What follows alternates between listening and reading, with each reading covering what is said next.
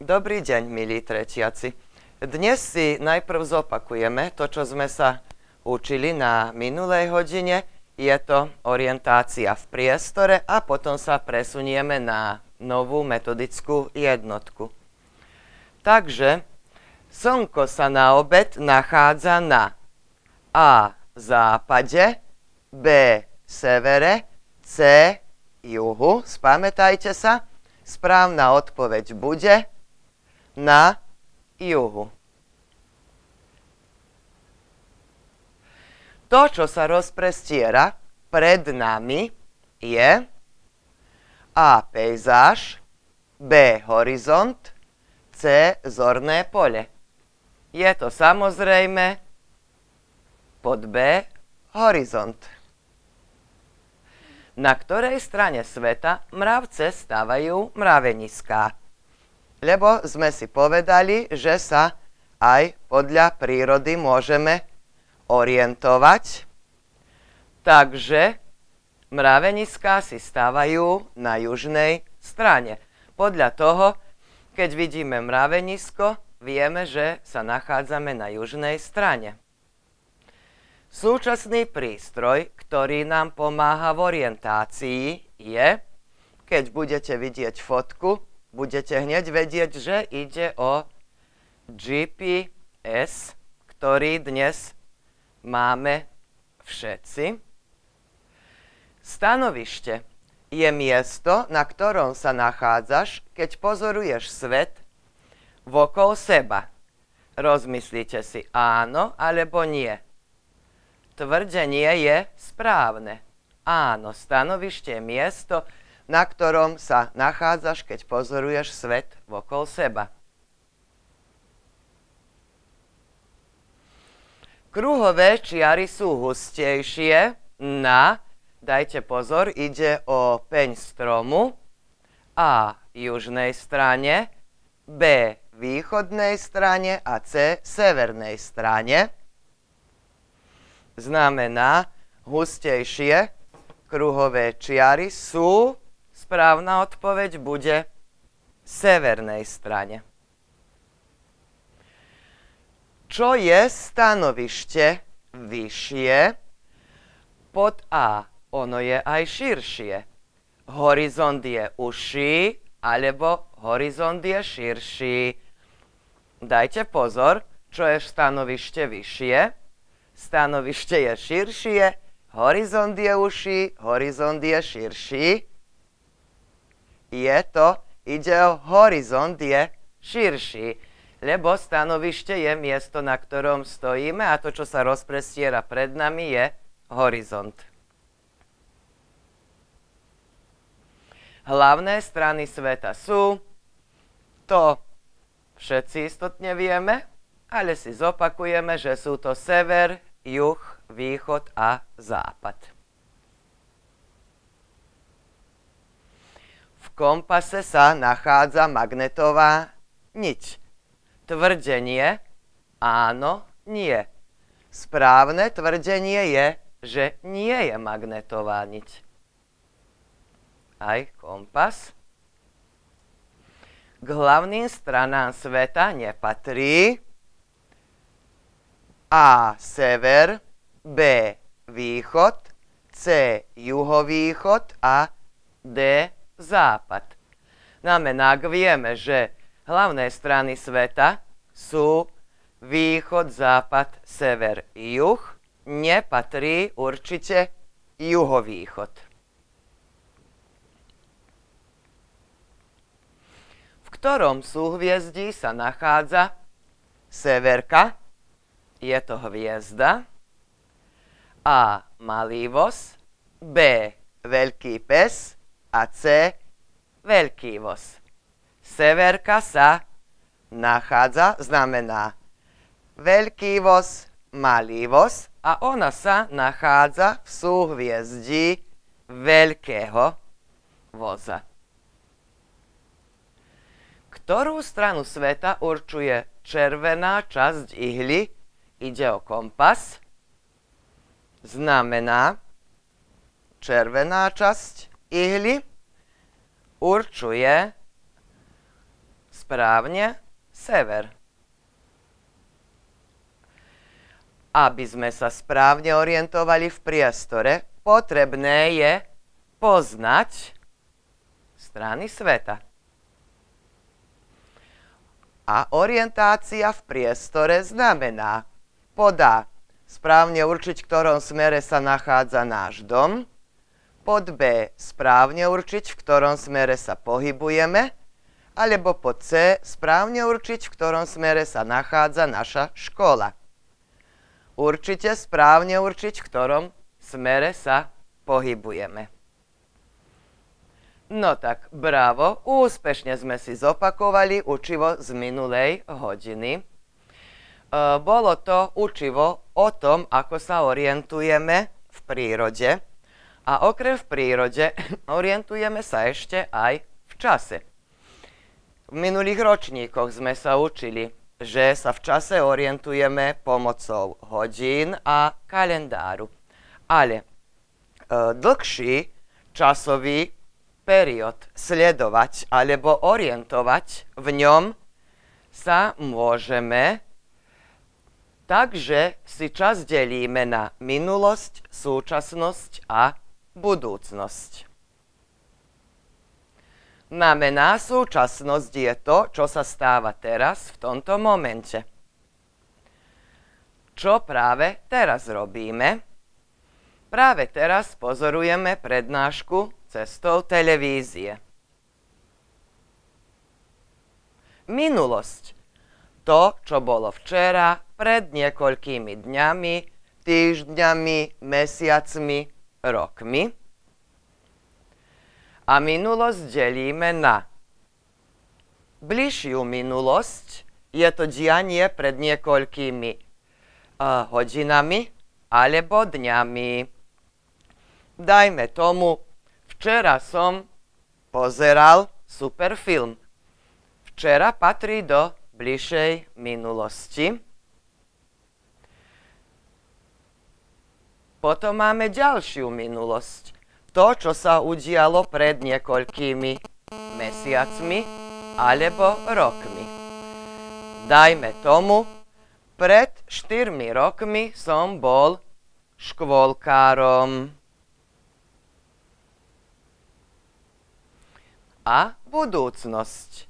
Je to, čo sa iba má stať. To, čo budeme robiť zajtra, o niekoľko mesací alebo rokov. Tiež budúcnosť delíme na bližšiu, udalosti, ktoré sa odohrajú o niekoľko hodín alebo dní.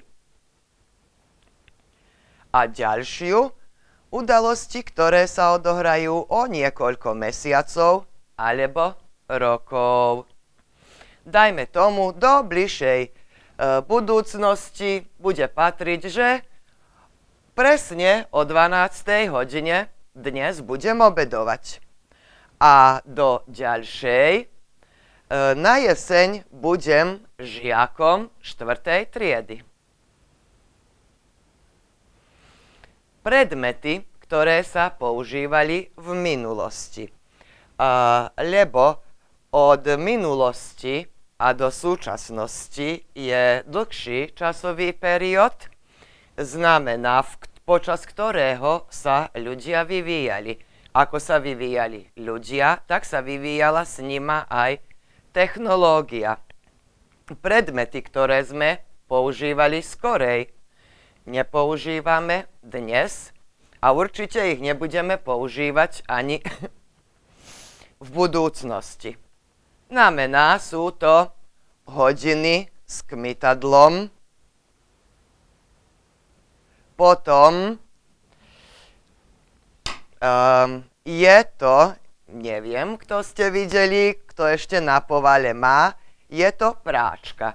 Niekedy sa uh, tak pralo, že sa na tejto drevenej časti drhlo a sme prali. A tiež nočná lampa. Predmety, ktoré sa používajú dnes. práčka na pranie znamená, absolútne sa nepodobá na tú, s ktorou prali prababičky. Potom hodiny nemajú viacej kmitadlo a nočná lampa. To, čo sa používa dnes, e, s ohľadom na to, ako sa technológia rýchlo mení a ľudia neustále vyvíjajú, znamená, že tieto predmety sa v budúcnosti už používať nebudú, budú znovu inakšie, budú na inakšom princípe pracovať a budú samozrejme mať iný dizajn. Tak napríklad e, ja som si zvolila ako ukážku minulosti, súčasnosti a budúcnosti automobil. Automobil minulosti bol takýto. Automobil dnes je taký. A automobil v budúcnosti, aj to myslím si v bližšej budúcnosti, ak už aj, uh, bude napríklad takýto, uh, ste si všimli rozdiel, tak znamená na jednom obyčajnom príklade automobilu um, to bolo iba prirovnanie, ako sa s postupom času všetko mení. No, a okrem toho, že čas delíme na minulosť, súčasnosť a budúcnosť, čas počítať môžeme aj, znamená, hovorím o tom, keď ide dlhšie časové obdobie, Um, takže počítať a sledovať udalosti v ňom môžeme e, 10 ročím. Naučíme sa, čo je to 10 ročie. Znamená, sme žiaci tretej triedy. Koľko máme rokov? 9. Roky počítame ako? Od dňa, čiže dátumu narodenia. Deň a rok, keď sme sa narodili.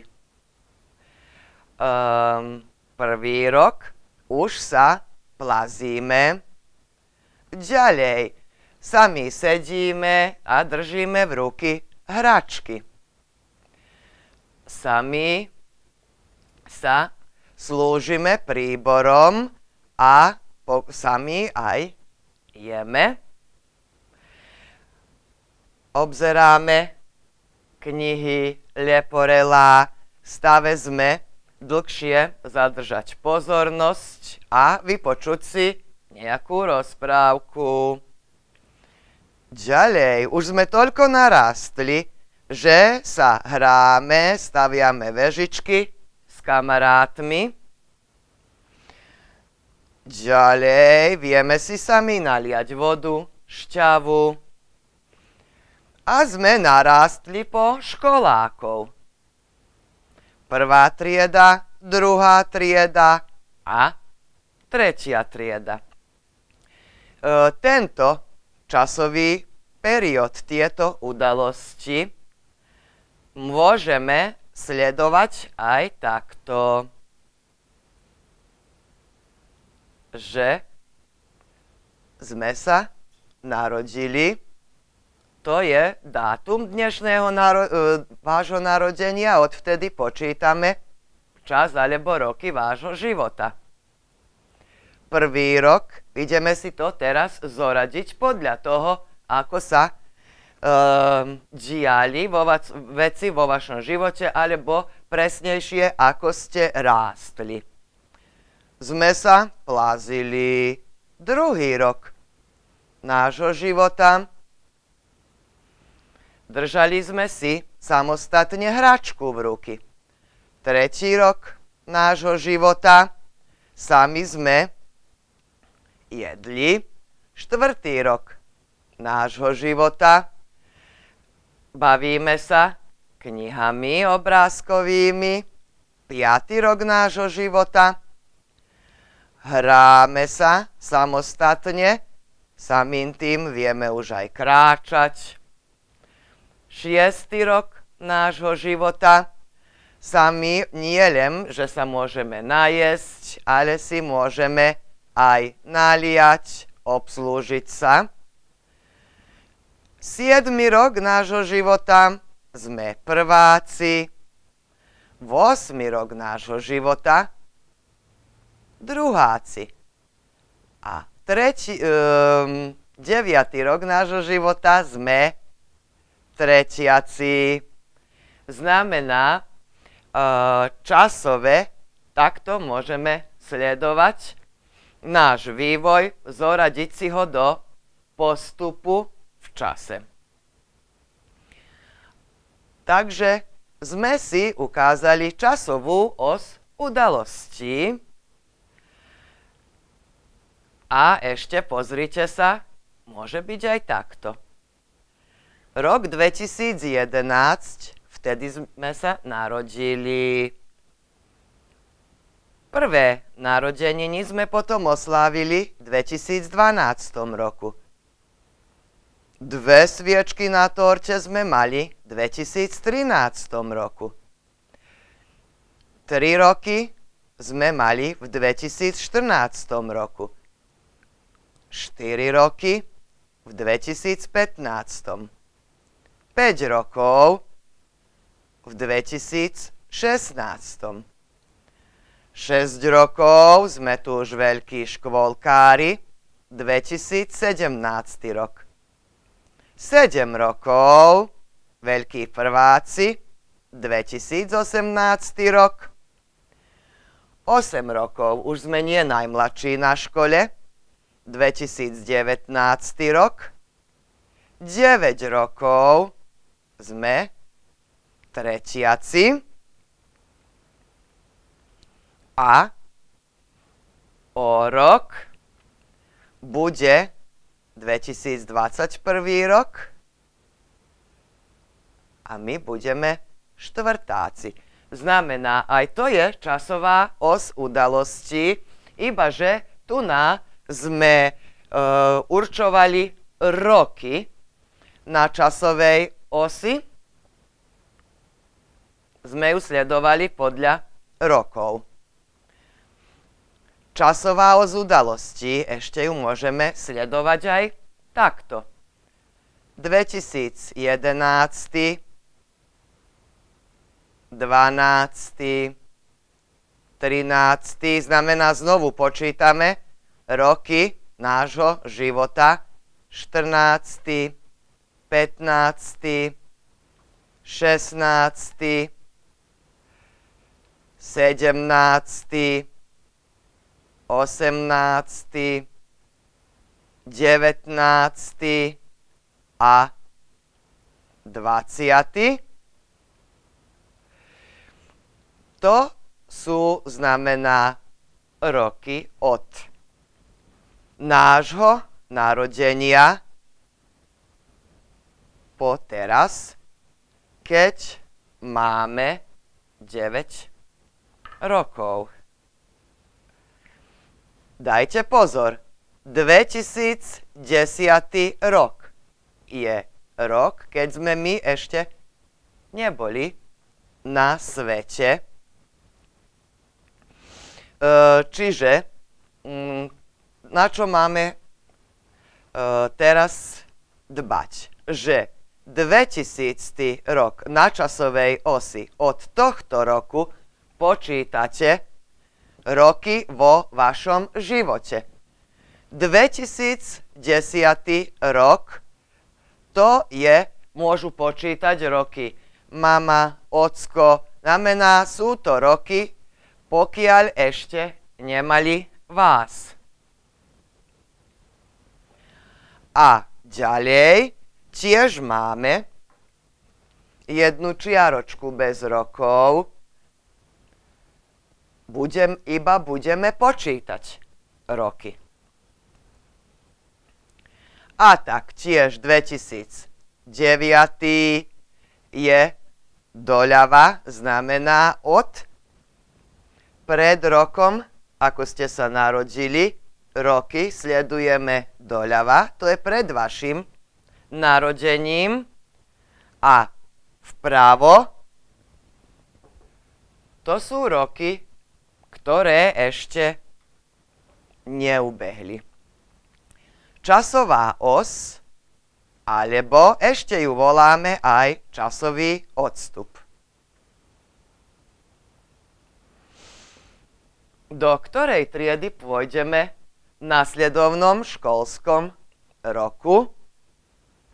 Do štvrtej triedy znamená od dňa, keď sme sa narodili, ubehol jeden rok a od dňa narodenia a po vašu štvrtú triedu ubehne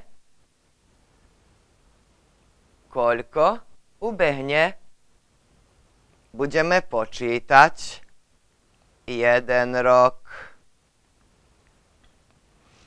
druhý tretí štvrtý, piatý, šiestý, siedmy, osmi, deviatý, aj desiatý. To bude 2020. Prvý rok znamená 10 rokov alebo um, časový period desiatich rokov. Prvý rok, druhý rok, tretí rok, štvrtý rok, piatý, šiestý, siedmy, osmi, deviatý a desiatý. To je 10 rokov, alebo period v trvaní 10 rokov. Povieme, že je 10 ročie ešte aj takto sa orientujeme v čase. Znamená od 2011. po 2021 rok je jedno desaťročie.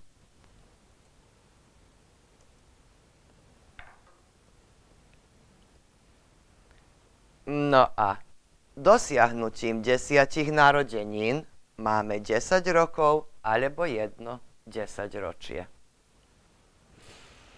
No tak naučili sme sa, že 10 ročie je časový period 10 rokov. Život ľudí je označený udalosťami. Časová os je znázorňovanie časového toku udalostí. Okrem, že čas meriame 10 ročiami. Ešte ho meriame storočiami a tisíc ročiami. Tak, dajte pozor, 10 rokov, 20 rokov, 30 rokov, 40, 50, 60, 70, 80, 90, a 100 rokov je spolu jedno storočie. 10, 10 ročí je znamená 100 rokov alebo jedno storočie. Čiže 10 rokov, 10 rokov, 10 rokov, 10, 10, 10, 10, 10, 10, 10. Aj prídeme po 100 rokov kratšie, jedno storočie. Tiež dajte pozor. Prvé storočie je čas v rozpečí od 0 do 100 rokov. Prvých 100 rokov. Druhé storočie je od 100 do 200 rokov. Tretie je od 200 do 300 rokov. Štvrté storočie od 300 do 400 rokov. Piaté od 400 do 500. Šieste od 500 do 600. Siedme od 600 do 700. Osme od 700 do 800. Deviate od 800 do 900. Desiate od 900 do 1000. Už máme 11. storočie od 1000 do 1100 rokov. 12. je 1200 rokov. 1300 rokov. 1400. Znamená, dajte pozor, ako sa um, ako storočia postupujú. 19. storočie 1800 rokov. 20. storočie je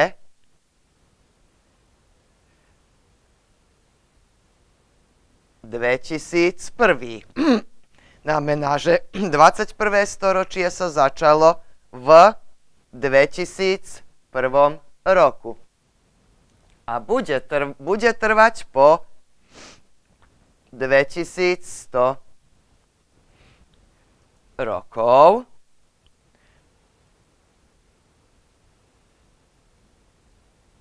A tiež 100 rokov, 200 rokov, 300 rokov, 400, 500, 600, 700, 800, 900 a 1000 rokov znamená časové rozpetie v tisíc rokov sa menuje tisícročie. Čiže 10 storočí 1, 2, 3, 4, 5, 6, 7, 8, 9, 10. Znamená 10 storočí je tisíc rokov alebo jedno tisícročie.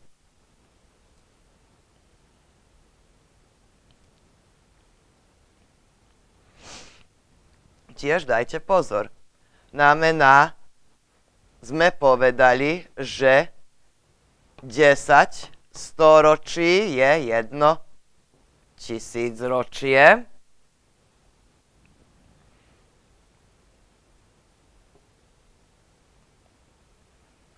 Znamená, prvé tisícročie sa začalo od prvého roku po narodení Ježiša Krista.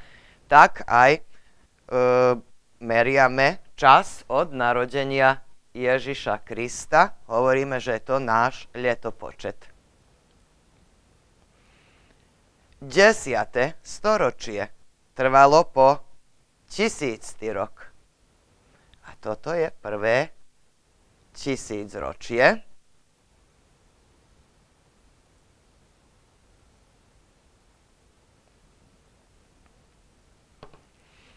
Dajte pozor modrou farbou je po 100 rokov do 1000 rokov. Je toto prvé storočie. Zelenou farbou sfarbené je druhé storočie. Znamená, druhé storočie počalo rokom 1001 a trvalo do roku 2000. Znamená druhé tisícročie.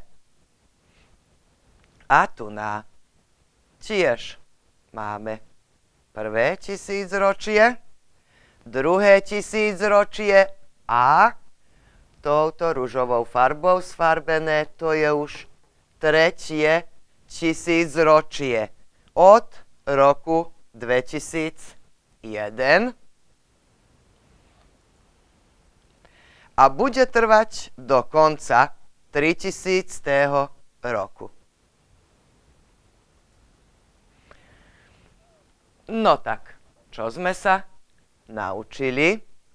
Že storočie je časový period, ktorý trvá 100 rokov. Roky sa počítajú od narodenia Ježiša Krista. Žijeme v 21. storočí. Tisícročie je časový period, ktorý trvá 10 rokov. A keď ide o tisícročia, žijeme v treťom tisícročí. Milí moji tretiaci, to by bolo všetko na dnes. Uh, môžete si v učebniciach ešte pozrieť tieto metodické jednotky.